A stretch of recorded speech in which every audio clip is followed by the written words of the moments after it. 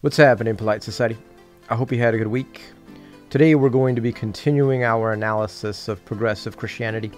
So let's delve in. Hello, everyone. If you're here for the first time, welcome to my channel. I'm Alan. For those of you unfamiliar with him, Matthew Vines is one of the leading voices in what is known as the gay Christian movement. From 2008 to 2010, Mr. Vines attended Harvard University.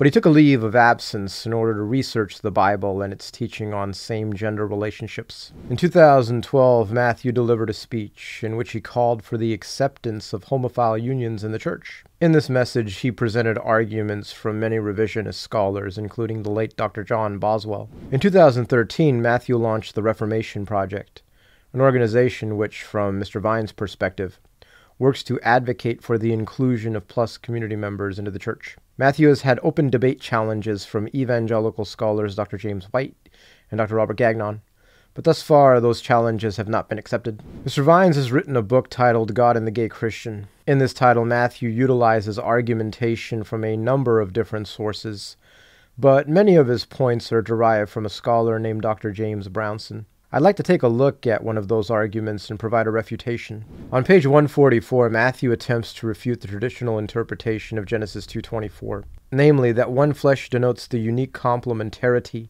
between one man and one woman in a physically intimate bond, and also that the one flesh represents the reunion of the two particular anatomically distinct bodies that originally came from that one flesh. He writes, but as New Testament scholar James Brownson explained in his book, Bible, Gender, Sexuality, this interpretation oversexualizes the phrase one flesh. In the Bible, the term flesh is used metaphorically to describe ties of kinship. Genesis 29:14 recounts how Laban, upon learning that Jacob was his relative, exclaimed, "Surely you are my bone and my flesh." Likewise in 2 Samuel 19:12, David told the elders of Judah, you are my brothers, you are my bone and my flesh. So Genesis 2 23 to 24, when read in light of Scripture's other use of the term flesh, isn't focusing on Adam and Eve's anatomical difference. Its focus instead is on their basic commonality as two people forming a new kinship bond. Some of you hearing that may be thinking it's so obvious that Moses is communicating the uniqueness of the two genders in Genesis 1 and Genesis 2. How could anyone miss that? It's basic logic, but let's respond to Matthew Vines and Dr. Brownson here. Firstly, it's not that kinship has nothing to do with the relationship between our first parents. Of course, one fleshness denotes kinship. There is no question that your spouse is your close kin. What we would reject, however, is not that there is a close kinship there, but that there is a limitation to an either or. There is actually a both and. The question we would ask is what is it about this kinship that establishes it as a unique form of a kinship bond? What establishes the limitation to two and only two persons? I mean, kinship bonds can be of any number. How many of you have a brother? How about a sister? If you have both, then if you count your parents, that's five. And that's not even counting aunts, uncles, cousins, nieces, and nephews. You my only kin. No, I'm not. I mean, if you grew up in a big family, you have lots of kin. Now remember, when Jesus discusses marriage in Matthew 19, he limits the number of partners in a marriage to two and two only. Kinship bonds don't get you to that restriction. Jesus presumed as the foundation of his utterance marital monogamy and indissolubility, the two-ness of the sexes at the very beginning of creation. Without that foundation, he would not have been able to reach his limitation of physically intimate relationships being between two persons within the pure fountain of marriage. And, brothers and sisters, I've said this to you before, but I say it to you again in love.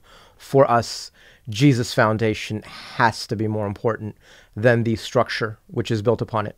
Jesus' foundation for marriage is not monogamy. That is the structure. That is the principle which we extract from his teaching. Jesus' foundation is a male female requirement. So, how do you get to this unique two-ness? Well, it's right there in Matthew chapter 19. What is common between Genesis 1:27 and Genesis 2:24? It's the intentional creation by God of two primary sexes and only two.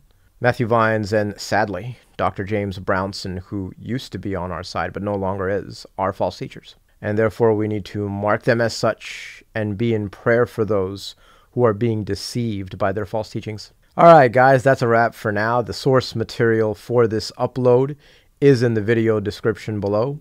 And uh, ladies and gents, if you want to share your own thoughts, be sure to do so in the comment section down below. Thanks for watching, guys. If you like that video, please give it a thumbs up. If you like the content here, you can subscribe by clicking on the icon on the bottom right. Then you can hit the bell for notifications. I upload a new video every Wednesday and every Saturday. You can also follow me on Instagram. I posted a link below. Have an awesome week, and for my brothers and sisters in the Lord, may the grace of the Lord Jesus Christ, the love of God, and the fellowship of the Holy Spirit be with you all always. I will see you all in the next video. God's blessings on your week.